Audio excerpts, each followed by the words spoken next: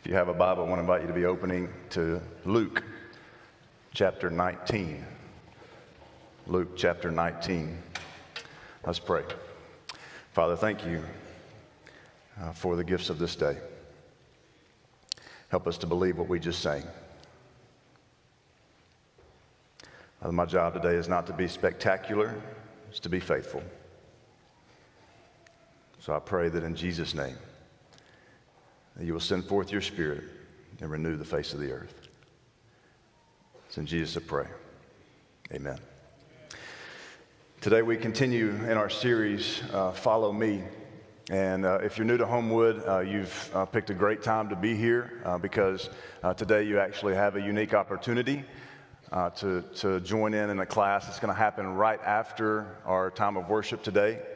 Uh, we call it our Catch the Vision class, and it's an opportunity for you to learn a little bit more about the mission and vision here at Homewood, but also for you to meet some leadership uh, and some ministry team leaders and to get to know them. Also, a chance for you to maybe ask some questions about things that, that you have on your mind. Uh, would love to, to help you with those as well. Uh, so that'll be directly after service today, uh, just right out here in the foyer. Take a my left and it'll actually be in the try room. I know Brother Castleman said that the baby dedication class was going to be in the try room. It's not. Uh, but if you come to the try room, we will send you to where you need to, to be for that class. And uh, if you've already been through a Catch the Vision class, I, I want to invite you to, uh, to, to, participate in another Bible class. There are several classes going on today. Um, it'll start, you know, about 15 minutes after worship, and so uh, they'll be on the screen here in a little bit. But uh, we are blessed uh, with some great uh, students of the Word here at Homewood, and they uh, pour into our class times. And, and so I, want to encourage you, if you're not taking advantage of that, uh, that you will uh, make an opportunity, make, make yourself available to that today. I think it'll be a blessing to you and your walk with God. Uh, well, for the past few weeks, uh, we've been using, kind of started each sermon with a, a clip from the TV series The Chosen. And I'm not going to do that today. Um, but just in case that you need your, your chosen fix, uh, just know that uh, season four is coming out in theaters this week. So the first three episodes will be available in theaters. So if you need your chosen fix, you can get it this week. Um, but one of the things that, I, that, that, the Lord just began impressing upon my heart was uh, it's great to see just some, some visual imagery of what it might have been like in Jesus' day uh, to to approach the disciples and to ask them to follow him. And I hope you've been blessed by that this past few weeks. Um, but one of the things the Lord's been impressing on my, my heart is, is what does it look like today? What does it look like in 2024 uh, for that same invitation to be extended uh, to us as believers in Him? Uh, so, if we will take a moment and watch the screen as one of our members shares how Jesus' call to follow him has impacted her life.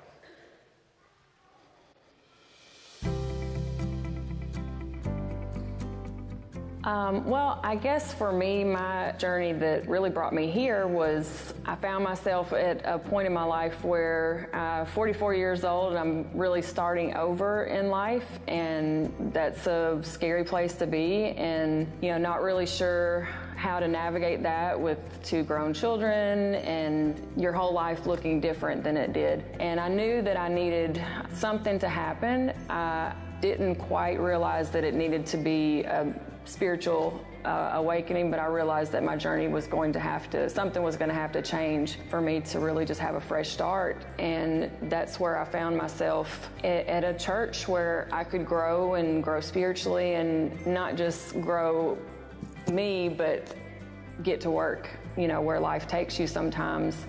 You can tend to, to fall away sometimes, and I think that's where I found myself you know, when I just realized that, you know, hey, I'm flat on my face and I, I need something, I need, I need a change. That's really where your life can either go one direction or the other. And I'm really grateful that God's voice was louder than anything else. And I just really needed to uh, give it to God. And that's where I found uh, this church home. And for a while, I'll be honest, I was uh, still scared. And so I sat in the back and rushed out and hoped that nobody would talk to me or didn't want people to see me you know, because I was in a new place in my life. Um, but what I realized was the very thing that I needed was the community that, that is here. So, really, when I got to the point where I knew that something needed to be different and I knew I needed to make a, a drastic change, I realized that my place was not hiding in the back. And I felt for me it was important to not only make a bold declaration to God that I was starting over and that I was wanting to be different.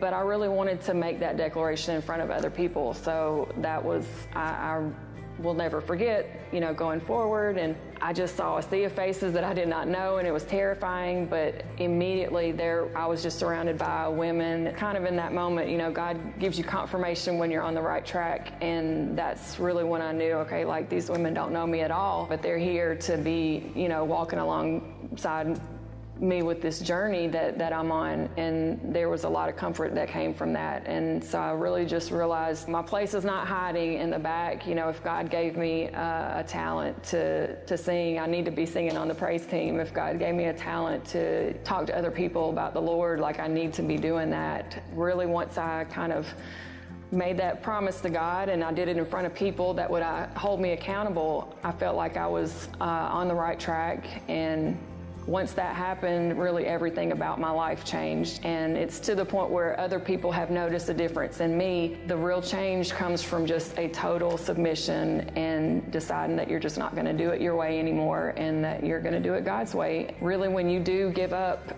all control and give it to God, he, he will lead you exactly where you want to go. But I tell my friends, like, be careful when you tell God to use you because He will absolutely put you to work. My name is Courtney, and I've decided to follow Jesus. Deciding to follow Jesus is an invitation that is extended to all of us. And so the question becomes will you take your next step? I appreciate Courtney and her willingness to share her heart with us this morning. It's been a joy to get to know her, and it's been a joy to have her even in in our Connect group lately. Um, last week we had signups for Connect groups, and it was uh, just a, a great thing to witness uh, the, the different folks that are, are getting plugged into different small group community. Uh, and it's not too late if you haven't made that step yet, and I would encourage you to, to consider that. Um, apparently, the, the most popular group in our church now is pickleball. Uh, there's like 600 of you here, and 700 of you signed up for pickleball, small group. Um, so I guess I can't be talking about pickleball anymore from the pulpit. Um, but seriously, there, there is a number of, of places for you to plug in. And as Courtney alluded to in the video, it can, it can be scary. It can be terrifying, you know, to, uh, to, to place yourself in, in, in, a small group community. Uh, but I hope that you will continue prayerfully considering to do just that. Uh, we've explored the commitments of following Jesus to worshiping regularly and connecting with God, how that leads us to living differently and doing life together. And today, for a few moments, I want us to consider what it means to give generously. Luke chapter 19, starting in verse 11. While they were listening to this, what were they listening to? Well, if you go back in Luke chapter 19, the story right before this is the story of who? It's the story of Zacchaeus, the wee little man. And, and Jesus is in Zacchaeus' house, and he is saying that salvation has come to this house today because he came to, to seek and to save the lost. And this is what they are hearing and then the word says in verse 11, while they were listening to this, he went on to tell them a parable. Because he was near Jerusalem, and the people thought that the kingdom of God was going to appear at once. The disciples continued to be confused by the nature of the kingdom that Jesus spoke about. Uh, many of them imagined God's kingdom to be a, restoration of Israel's old days of, of political and military glory. And they had difficulty conceiving a kingdom that included all who believe, male and female, Jew and Gentile, rich and poor. So, speaking into their confusion, Jesus tells a parable, a story. Verse 12, he said, A man of noble birth went to a distant country to have himself appointed king and then to return. So he called 10 of his servants and gave them 10 minas. Put this money to work, he said, until I come back. But his subjects hated him and sent a delegation after him to say, We don't want this man to be our king. This was a man of noble birth presumably a prince of sorts. And by the command that is giving, there, there's really three, at least three implications that we can place onto the text. Uh, implication number one is that the servants did not own the, the minas or, or the money, it was just theirs to manage. A mina is, in some uh, circles, it's expected to be three or four months worth of wages. So you can kind of do the math on some of that. But the second implication is that the servants had to find creative ways to invest in order to gain a return. Thirdly, that, that one day there was going to be an accounting of how the resources were used. So I want you to hold those three implications in mind as we continue to read verse 15. He was made king, however, and returned home. Then he sent for the servants to whom he had given the money in order to find out what they had gained with it. The first one came and said, Sir, your mina has earned 10 more. Well done, my good servant, his master replied. Because you've been trustworthy in a very small matter, take charge of 10 cities. The second came and said, Sir, your mina has earned five more. His master answered, Take charge of five cities. Now, we don't know exactly what these servants invested in. Maybe uh, they bought some land and developed it. Uh, maybe they invested in the NASDAQ, the Nazareth deck. Maybe uh, they bought some camels and they started the, the very first uh, Uber driving camel business back in the day. We don't know what they did in order to invest the money. But catch this wherever they invested the money and established the prince's presence, there was a form of his kingdom. Don't miss this. To say it another way, that the prince's kingdom did not have political boundaries. It was where his servants were working in his name, using his resources, gaining profit for his glory. There was his kingdom. Jesus' followers who want to live generously are also servants. No more and no less. Verse 20. Then another servant came and said, Sir, here is your mina. I have kept it laid away in a piece of cloth. I was afraid of you because you are a hard man. You take out what you did not put in and reap what you did not sow. His master replied, I will judge you by your own words, you wicked servant. You knew, did you, that I am a hard man, taking out what I did not put in and reaping what I did not sow. Why then didn't you put my money on deposit so that when I came back, I could have collected it with interest. Then he said to those standing by, Take his mina away from him and give it to the one who has 10 minas. Sir, they said, he already has 10. He replied, I tell you that to everyone who has, more will be given. But as far as for the one who has nothing, even what they have will be taken away. But those enemies of mine who did not want me to be king over them, bring them here and kill them in front of me. Hmm. Often uh, we hear the word give or giving, and automatically our, our minds go to uh, money. And money is, is certainly something that could be included in that, but it goes deeper than that. In his book, The Secrets of the Generous Life, author Gordon MacDonald says that the generous life is not about doling out extra amounts of money. It is about reorienting the human heart in the direction of Christ so that we become transmitters of the same affection and care that Christ modeled here on earth. Uh, Mother Teresa, who died in the late 90s, uh, she rejected any view of her life as an activist. In her Nobel Prize acceptance speech, she claimed that anyone who, who viewed her life as being about social work had it backwards.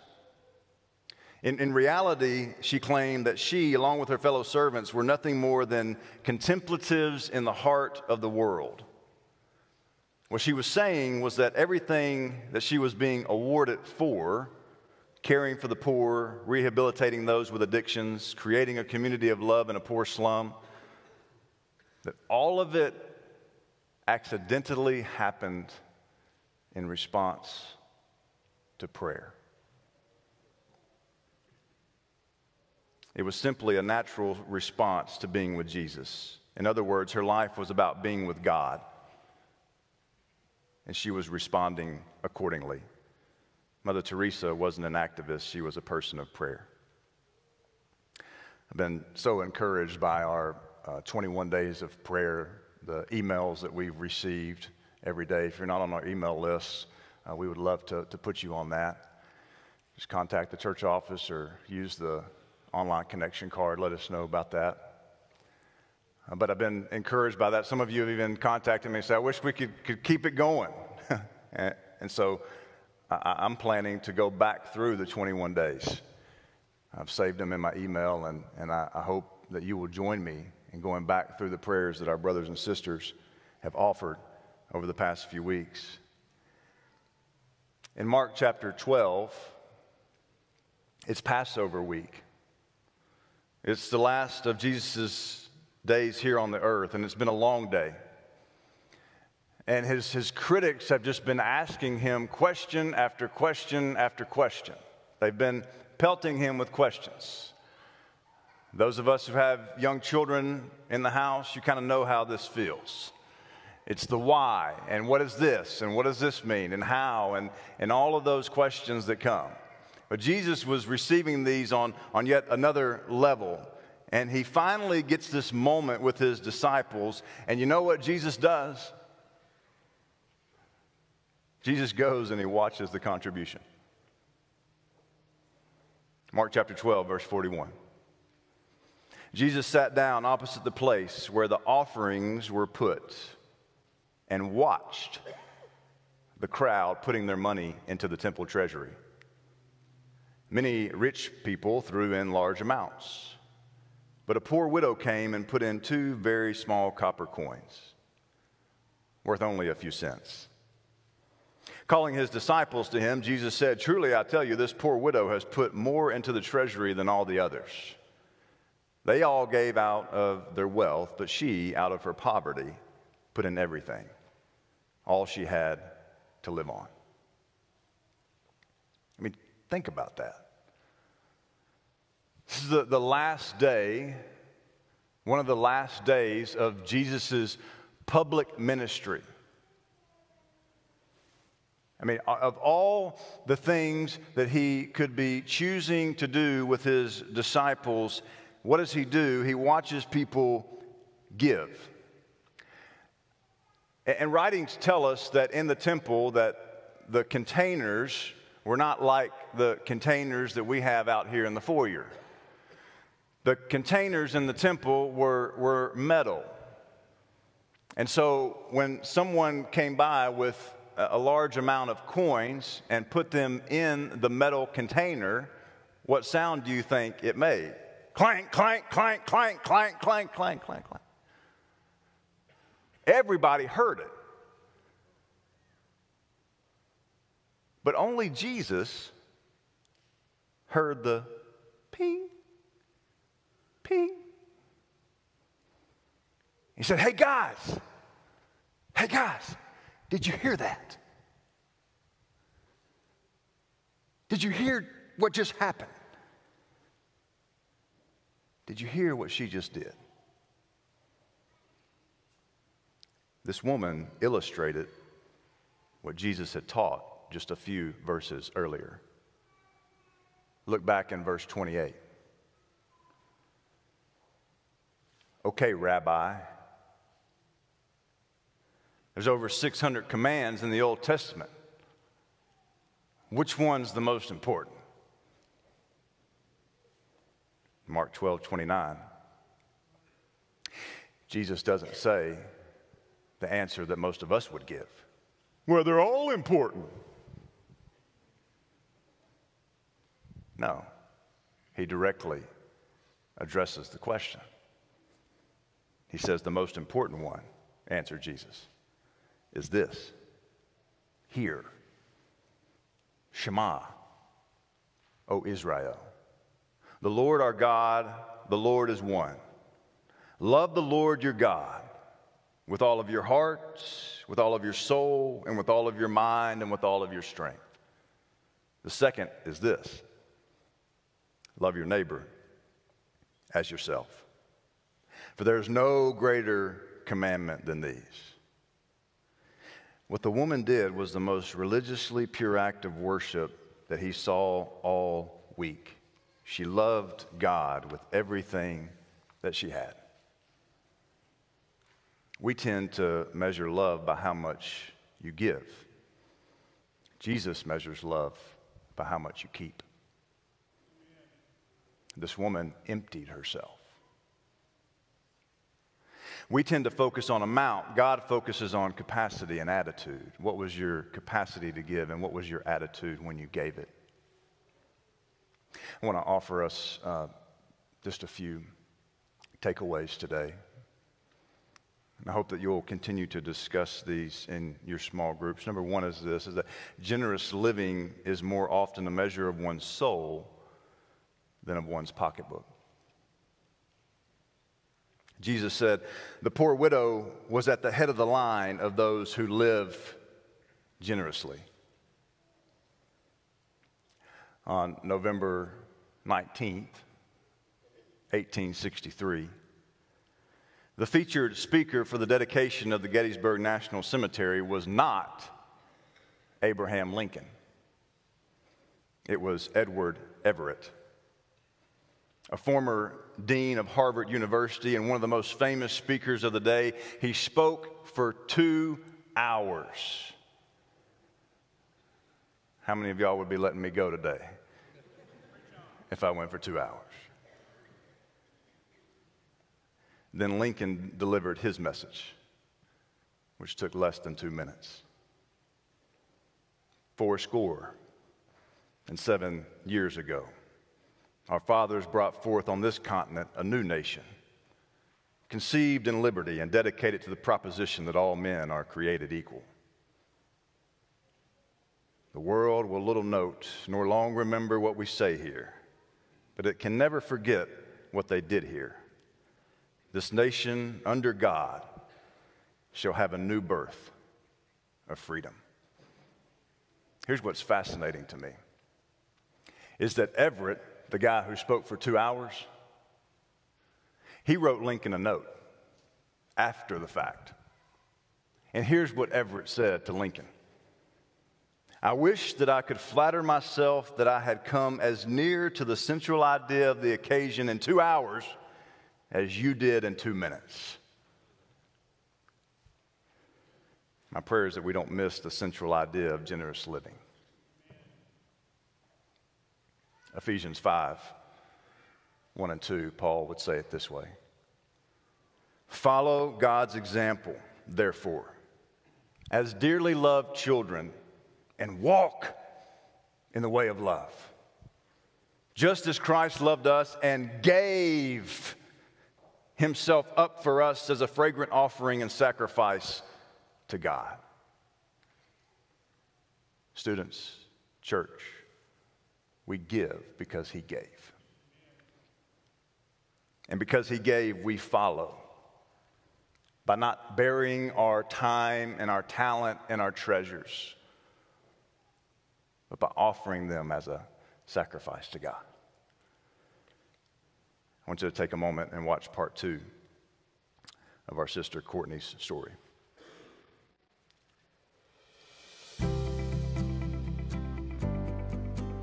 So the, the Sunday that I decided that I wanted this to be my church home just happened to be the Sunday that the ministries were being uh, displayed and, and showing all the different ways that you could be involved. And once again, you know, when I told God to use me, there it was, you know, a million different ways that I could be involved. So, you know, I signed up for what I could. But in the process of doing that, I was invited to come and attend a Connect group. Had never, you know, gone to one before, so I just went along because I had gotten the invitation. It was terrifying because in a place where you don't know anybody, okay, now we're going to be in a smaller, intimate setting with people that I don't know. But once again, you know, God, God knows what we need and He puts us in the places that we need to be in. You know, I was not uncomfortable at all. I was met with welcome faces. I was surrounded by people that didn't just look like me and weren't in just my same place in life. And that meant a lot to me that there were different ages represented, that there were different people just in different stages of life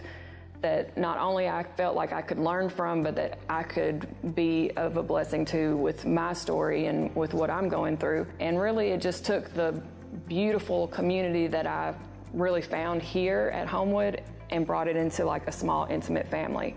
And these are just people that they know my mess, they know like what I'm going through, but they are right there along with me, sharing their mess and praying with me. I end up leaving worship sad that it's over. I end up leaving Bible class sad that it's over, and then I end up leaving Connect Group sad that it's over, just because I'm so spiritually fed and it's God showing me, you know, confirmation that I'm exactly where I need to be and in a place where I'm loved and I'm blessed and I'm taken care of, but I also have that opportunity to, to get to work and bless other people. Second takeaway is that generous living is a life shared in common unity. This is some of what Jeff Taylor was sharing during our communion thoughts. I was talking with uh, someone yesterday who does not go to this church. And we just got to talking uh, about life, and I was telling him that, you know, our church family uh, just has multiple people and families that are, are walking through some very hard things right now. And uh, I got to tell him just how, you know, my heart, my minister heart is that I want to be present with all of them, you know, and I want to be there. But the reality is, is I'm, I'm one person. I can't. You know, I mean, we, our, shepherds are, are, the same way. There, there's only a, a certain amount that can't, we can't be everywhere all the time.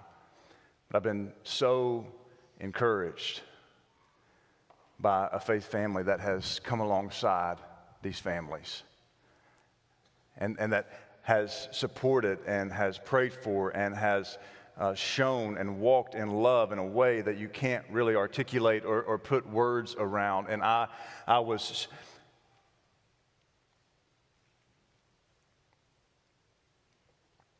So proud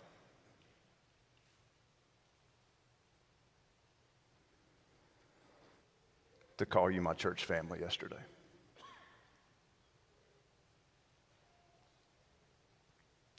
Because generous living is a life that is shared in common unity. Which leads us to number three. That generous living begins in worship and emerges from a grateful heart. One of the most sobering texts in all the Bible is found in the book of Job. He receives word that his property has been stolen or destroyed, that his children have all lost their lives, all of them. In Job 1 and 20, the word says, Then Job arose and tore his robe and shaved his head, and he fell on the ground and worshiped. And he said, Naked I came from my mother's womb, and naked shall I return. The Lord gave, and the Lord has taken away. Blessed be the name of the Lord. In all this, Job did not sin or charge God with wrong. He goes on in chapter 13 to say, Though he slay me, yet I will trust in him. Let's pray this morning. Father, I pray that you will give us the courage and the humility to be obedient in whatever season of life we find ourselves in. Father, give us hearts that are, are grateful for the one who became poor so that we may experience the richness of a life in him. Blessed be the name of the Lord. Remind us that even though we walk through the valley of the shadow of death, that it's your perfect love that is casting out fear. Father, may we proclaim that with boldness this morning. It's in your name, the name above all names, that we pray, the name that one day will be heard and every knee will bow. The name of Jesus. Amen. If you have a, a need this morning, there'll be a shepherd down front. If you'd like to pray with one of our shepherds and his spouse back here in the chapel, feel free to do that. Today's the day you want to name Jesus as Lord, be baptized into him. I'd love to celebrate that with you. Come as we stand and sing.